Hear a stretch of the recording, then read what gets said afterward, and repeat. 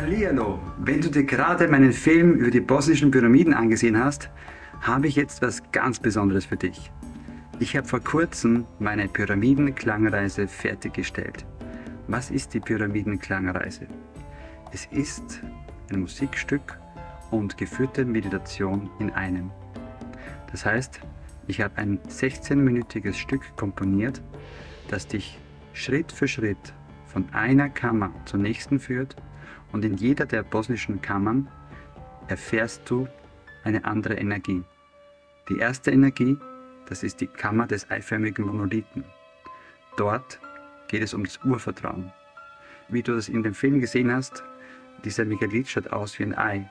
Und für mich, in meiner persönlichen Wahrnehmung, ist das der Ort der Geburt und des Friedensschließens mit unserer eigenen Herkunft.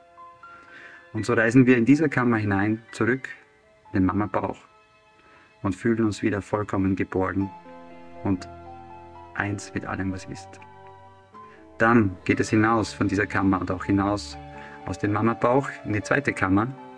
Und in der zweiten Kammer, dort geht es um den Atem. In der zweiten Kammer, hast du gesehen im Film, da gibt es zwei Megalithen, die am Boden sind und die so ausschauen wie Lungenflügel.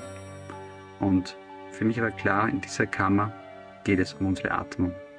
Und hier verbinden wir uns mit unserem Atem und steigern die Körperenergie. Dann in der dritten Kammer, dann wird es ganz spannend.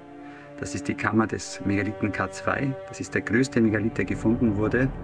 Und dieser Megalith hat eine mega starke Energie. Und diese Energie ermöglicht uns, in tiefe Meditation zu kommen.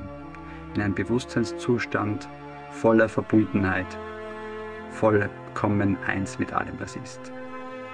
Hier lassen wir vollkommen los und lassen uns tragen in den wundervollen Melodien, die ich komponiert habe. Und in der letzten Kammer dürfen wir diese Energie, die wir erhalten haben in der vorigen Kammer, für unsere eigene Selbstheilung nutzen. Das heißt, wenn du irgendetwas in deinem Körper hast, was geheilt werden muss, dann kannst du es dort in der vierten Kammer tun.